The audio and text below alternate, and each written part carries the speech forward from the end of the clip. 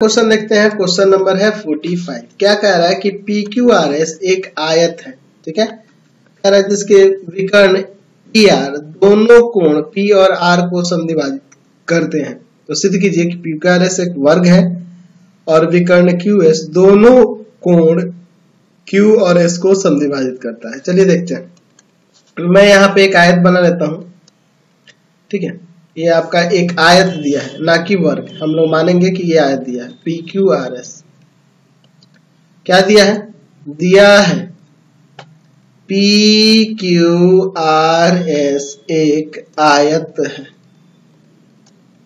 एक आयत है। पी क्यू आर एस क्या है? एक आयत है। अच्छा इसका पी आर देखिए। पी आर कौन होगा? विकर्ण पी आर ये हो जाएगा। ये ना होगा पी आर यह एंगल पी और आर को समझाया करता है। यानी कि यह कोण इस कोण के बराबर और यह वाला कोण इस कोण के बराबर है। समझ रहे हैं ना? लिख सकते हैं कि विकर्ण विकर्ण पी आर एंगल पी तथा एंगल आर का समद्विभाजक है। समद्विभाजक है। तो सिद्ध करना है। तो सिद्ध करना है। तो सिद्ध करना है। क्या सिद्ध करना है? एक नंबर में। कि P Q R S एक वर्ग है। एक वर्ग है। और दूसरे में क्या सिद्ध करना है कि क्यू एस एंगल क्यू तथा एस का, एंगल एस का समधि भाजक है। तो पहले एक वाला सिद्ध कर लेते पहला वाला। फिर हम लोग फिगर में जब छेड़छाड़ करेंगे, पहले पहला नंबर वाला सिद्ध कर लेते उसके बाद देखा जाएगा। चलिए अब इसका प्रमाण देखिए। ठीक है? अब देखो।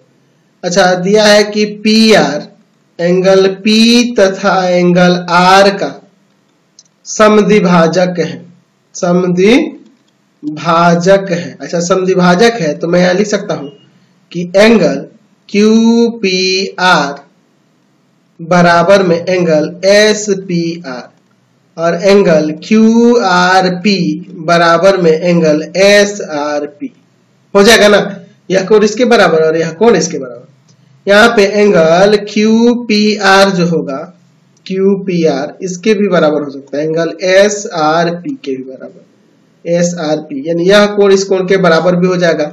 एकांतर अंत कोण से। एकांतर अंत कोण से बराबर हो जाएगा। हो जाएगा ना? यानी कहने का मतलब जब यह कोण इस कोण के बराबर हो गया और यह वाला कोण इस कोण के बराबर है।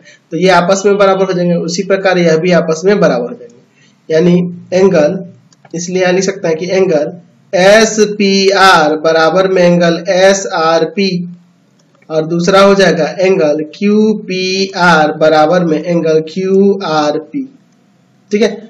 यह वाला कोण इसके बराबर और यह वाला कोण इसके बराबर। तो जो, देखो, यह कोण इस कोण के बराबर हुआ तो ये भुजाएँ बराबर हो जाएँगी ना। यहाँ से हो जाएगा पी एस बराबर में।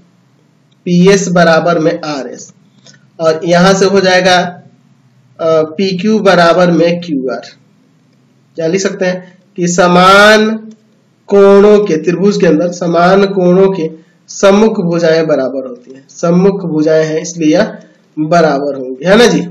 चलिए।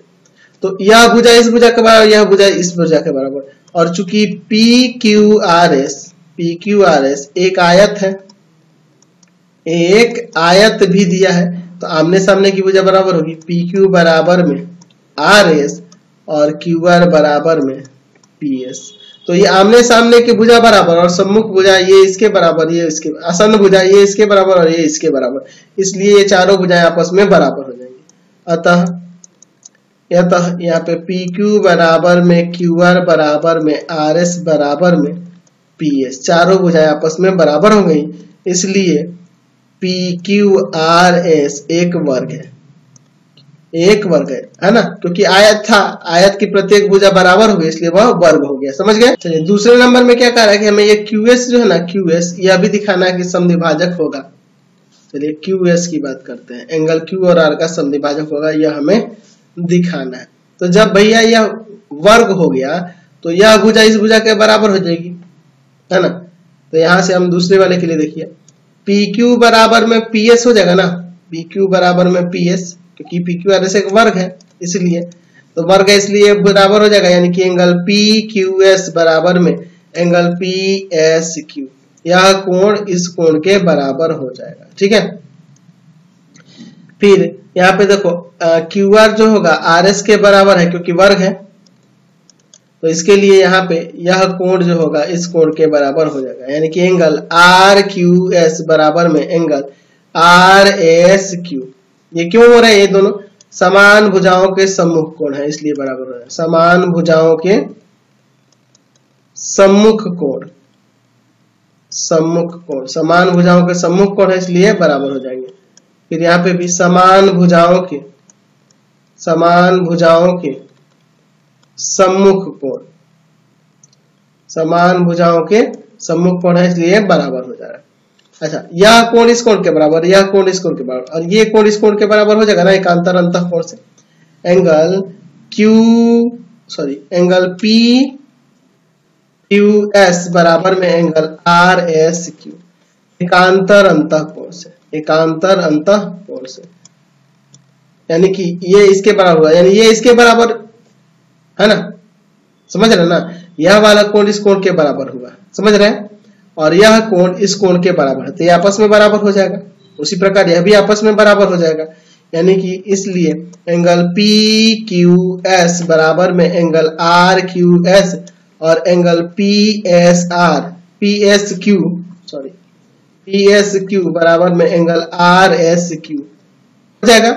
इस तो इसलिए कह सकते हैं, अतः अतः अतः क्यू एस जो है ना क्यू एस एंगल क्यू तथा एंगल एस का एंगल क्यू तथा एंगल एस का समद्विभाजक है।